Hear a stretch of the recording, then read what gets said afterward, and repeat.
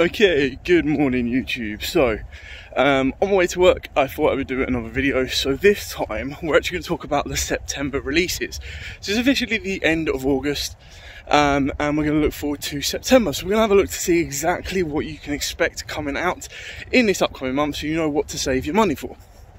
Considering paydays like today or tomorrow as well, definitely going to be worth knowing. So let's start off with the first product release of the month, and that's going to be the Megatins of 2022.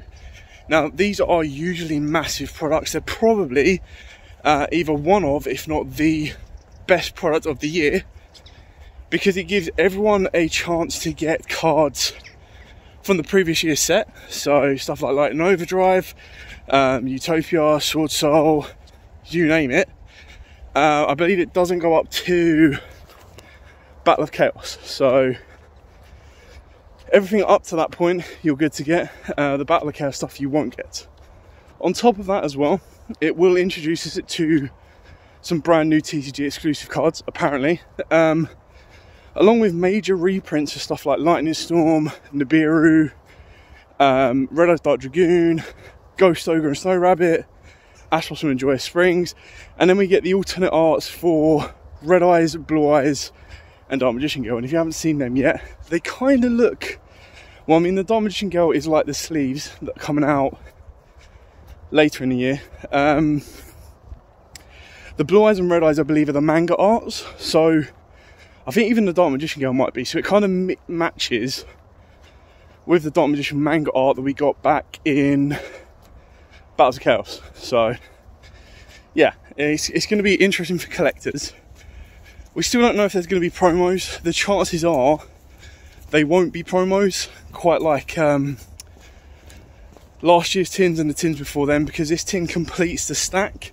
So for the artwork, you can put all of the tin lids together, and it completes like the uh, Millennium Tablet, basically. So yeah, um, the fact that they're not promos does kind of show to me that we're not getting anything extra in the packs. So it's not like, oh, by the way, because of these, you're now going to get two prismatic secrets or something like that. You're not. It's basically going to be, I believe it's two ultra rares per pack. So you get three packs per tin, two ultra rares, two supers, and a secret. It might actually be free. I could be wrong. Um, so, I mean, the mega megatins are always worth picking up, especially if you like any of the stuff that came out previously and you couldn't get hold of it. So something like Sword Souls, which I already discussed yesterday, were I think will be a very good, powerful uh, anti-meta deck. Well, I say anti-meta, it kind of, as long as nothing happens to it, it'll fit right in. So that would be a cool one to get. Um, it does seem like the reprints might be diluted. So if we're going to get Underworld of the Goddess, if we're going to get more commonly uh, and Pot of Prosperity in there, you're probably looking at them going to be buried a little bit, so it will probably be on the same levels as access code in the gold set, but we're not going to know that until the tins drop officially. So 15th of September is what you want to be looking for on that one. So about two weeks away, I think officially two weeks away from the 1st of September. So definitely something to be looking out for. Um, I think the retail is something like £15, $15, give or take per tin. Um, like I said, it's, it's, always worth picking the tins up because the reprints are great. So I'll do more on them once we know what's exactly in them and how much more is going to be in them to kind of work it that way as well. Um, carrying on throughout the month, the second product being released in um, September is going to be the Crystal Beast structure decks. So they're due out on the 29th of September, so four weeks from hopefully the day that I put this video out.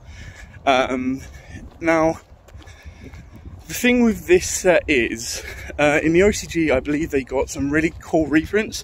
I believe they got like Ash Blossom and stuff. But if we're going to get Ash Blossom in the Megatins, as long as it's easy to get, and I mean, they could very easily put Prismatic Ash Blossom in this set. Um, yeah, it's gonna. It, they it depends on how easy and how hard they are. But basically, post the Crystal Beast Structure Decks, if Ash Blossom is in it, everyone should have an Ash Blossom by that point. in regards to competitive viability for um, the Crystal Beast, sadly, it's not on the level of um, branded structure deck, and it's probably not going to be on the level of the um, Dark World structure deck, which we get in December. So the new cards are really cool for the Crystal Beasts themselves, but it doesn't really make them like quite what they did with Branded, quite like they did with Shaddolls, quite like they did with uh, Salamangreats. It doesn't kind of make them highly competitively viable. Um,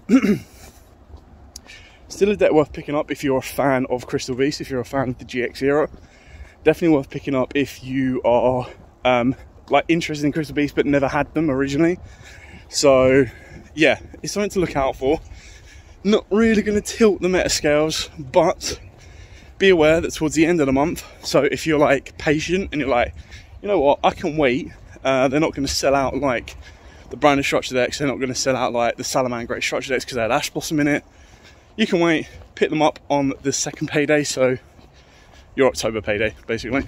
Um, yeah, and then the other thing that we expect to happen this month is not technically a product, but it's probably going to be as big of a product because it will change the way the game's played. Is the ban list, or we hope it's going to change the way the game's played. Now, I'll do a separate ban list prediction video um, because I still, I mean, there's a couple of cards you can pretty much go, that card shouldn't be around anymore. The issue is, right now, that we seem to always be playing catch up on a ban list. Now, what I mean by that is, in my opinion, it's too early to hit um, tiers and sprites directly. Now, obviously, I know it's happened before. I know we've had like an emergency ban list that's hit Pepe. I know um, even before I was playing that there was a hit to one of the Fire Fist monsters way before uh, it even got released. So, but unless unless Konami are really, really worried about these Yoo-Hoo stuff coming out in November, I don't think that like none of the decks are going to be made unplayable. I think the best bet that you have to trying to keep the sprite and tier deck in check and then opening the meta back up without actually banning anything through either strategy is um, like basically bringing stuff back now. Keep in mind in November as well, Sky Strikers get linkage, which is absolutely busted. Um, so they're going to get a brand new card, which, if Konami wanted to, they could bring Engage back to free. Not that I agree with that, because one Engage is still painful enough. Like, Engage, cool. Uh, Kagari, add back Engage, cool. Multirole, reset Engage, cool. um, so, yeah, that's definitely something that could happen. Whether it does or not is uh, a different story. Um, so, I mean, I suppose, especially with tears as well, it's a little bit more difficult to deal with tears because um, most of the generic cards they're using aren't really that effective. Now, obviously, the dangers you could hit, but again, with dangers, the same problem they've always had is you'd have to hit like multiple dangers to make it worthwhile. Like, all right, you take away Snake, all right, whatever. You take away Jackalope, okay, they've lost a little bit of consistency. You hit Nessie back down to one, okay, not the end of the world, they can still recycle it. I'd be amazed if they hit Mothman. Um, there's no reason to hit Bigfoot, so you can kind of see the dilemma that that puts it. I think one card that is definitely looking like it's for the chop is Fairy Tale Snow. So yeah, I, again, I don't want to go too far into this because I want to do it on its own separate video and give as much um, information and breakdown as I possibly can. But I think it's quite difficult to do a prediction video now that isn't like copy and paste from someone else's list because they all are pretty much the same. And then uh, trying to actually guess what Konami are going to do, whether they're going to address the current issue or because so much time's gone by and the format has shifted and changed, whether they are like I can't imagine that they have a meeting a week before the ban list drops and goes, okay, this is what we're going to do.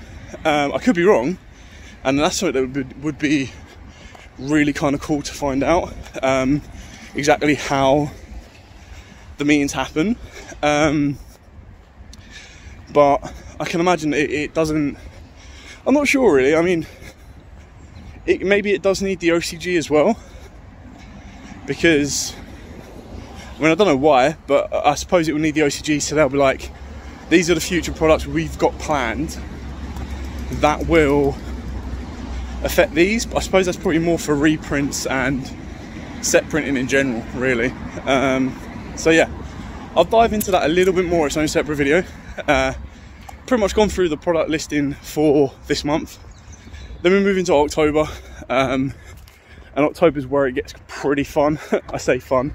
Um, so a little preview of October is when we get Darkwing Blast, which gives Tearlaments more support, Sprite gets some more support, um, and then towards the end of the year, November's where it really kicks off because that's where you're going to get the Azuhu support, you're going to get Sky Striker support, you're also probably going to get um, the Battles of Legend, which as of yet we still don't know exactly what's going to be in there. We know that it's going to support the Crystal Beast structure deck, but um, yeah, we don't know the reprints, we don't know the level of uh, kind of cards they're going to add into it. So yeah, anyway, thank you so much for watching. Don't forget to like, comment, subscribe, share. Till next time, guys, as absolutely always, stay safe and of course, happy dawling.